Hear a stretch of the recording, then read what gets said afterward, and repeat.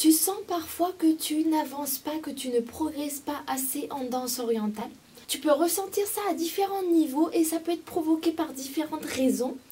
Moi, c'est Awa, professeure et directrice de Danse Afro et aujourd'hui, je vais t'expliquer tout ça et je vais te donner des solutions.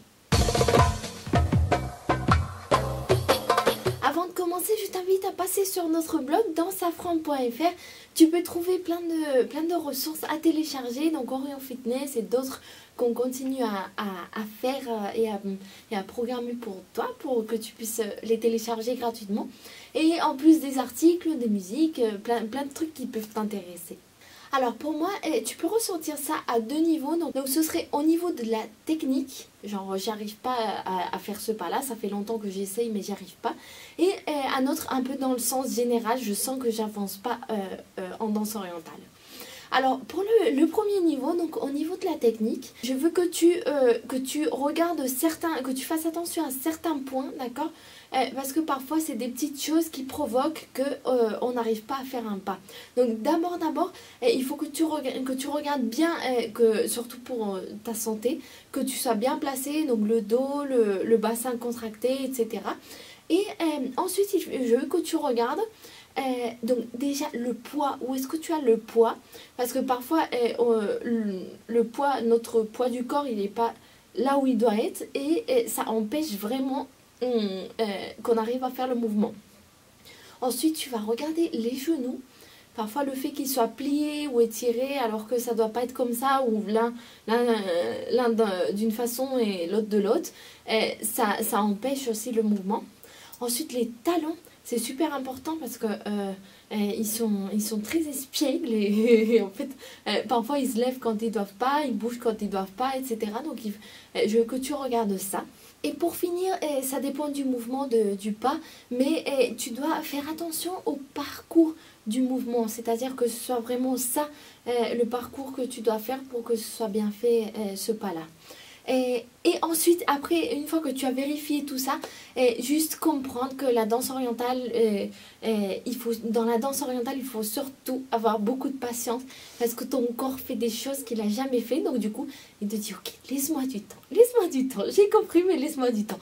Donc juste un peu de patience, beaucoup de travail euh, et persévérer et tu verras que, que ça va venir. Et la deuxième situation, c'est un peu en général. Et donc, euh, ça, peut, ça peut être dans le cas où tu, tu, vas en cours de danse ou dans le cas où, euh, où tu peux pas, n'as pas la possibilité d'aller en cours et tu pratiques à la maison. Donc, si tu vas en cours de danse, souvent tu as cette impression-là parce que...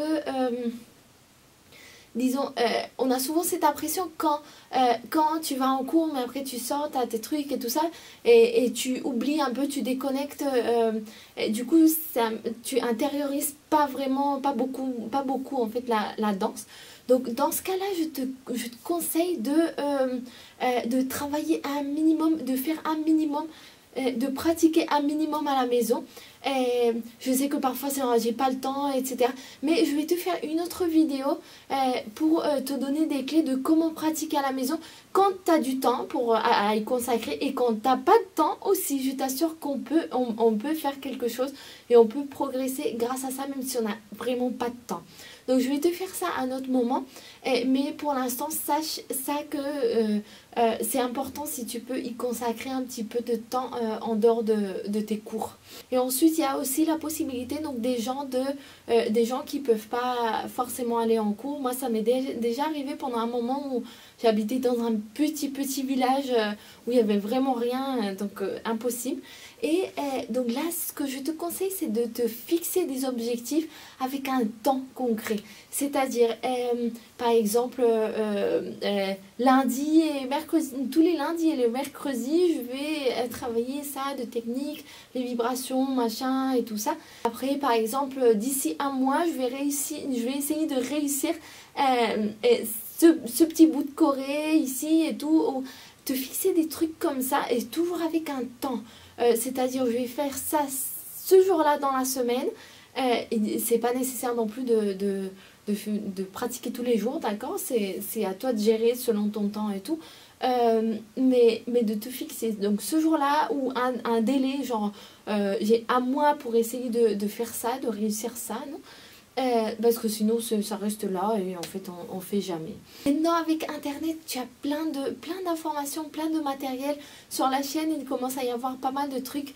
Euh, si tu as quelques doutes, demande-moi. Tu sais qu'on a une page où tu peux me laisser euh, donc tes suggestions, tes questions et tout ça. Je, je, je, je le ferai avec plaisir. Et aussi, c'est vrai que parfois sur internet on trouve un peu des petits bouts par-ci par-là et c'est un peu compliqué de, de vraiment tout gérer, de vraiment avoir un un ensemble dans la tête bien organisé. Donc euh, pour ça, il y a aussi des formations online. Nous, on commence à en avoir quelques-unes, on en fera d'autres. Et je suis sûre qu'il y a d'autres personnes qui en ont aussi. Donc euh, ça, ça peut t'aider aussi. Ça peut t'aider aussi. Si, ça dépend un peu ce que tu veux ou comment... Donc, et sinon, il y a plein de trucs gratuits sur Internet, gratuits sur Internet. Et un dernier conseil, donc, si tu pratiques à la maison comme, ou, si tu vas en cours, euh, je te conseille de trouver un petit moment pour toi, tranquille, où tu es à la maison, euh, tu mets de la musique et tout simplement euh, tu ressens la musique, tu laisses un peu ton corps aller, danser. C'est que parfois on est tellement dans le, dans le truc de la technique, cette choré, ce pas après, ce pas là, machin et tout, qu'on est trop dans la tête et parfois on, on, on, oublie un petit peu le côté émotionnel en fait. Et si on arrive à avoir cette connexion émotionnelle, ça va nous aider, ça va t'aider énormément. Ça aide énormément aussi un peu pour la motivation. Donc voilà, c'est juste mettre de la musique et oublier un petit peu. Tu, tu peux mettre des pas de danse, mais essaye juste de ressentir en fait. Je pense que ça, peut ça peut t'aider. Voilà, voilà, ça prend pour cette vidéo. Euh, n'oublie pas de passer si tu veux sur le blog et tu sais qu'on se retrouve ici tous les jeudis et tous les dimanches sur YouTube sur Dans Safran.